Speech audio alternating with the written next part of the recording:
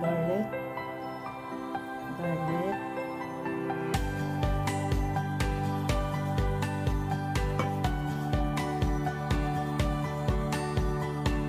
Onion.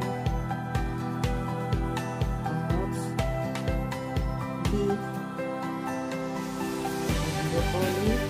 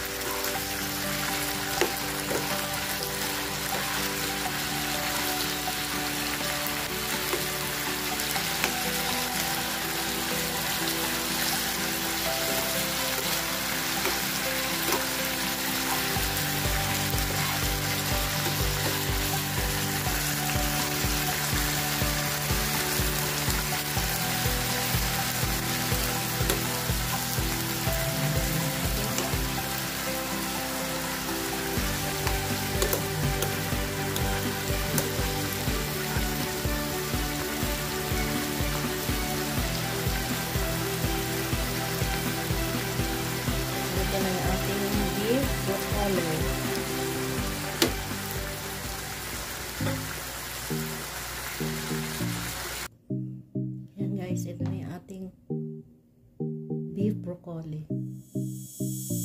Sa mga hindi pa nagsusubscribe sa akin channel, please like, share, and comment para updated kayo lagi sa aking mga video.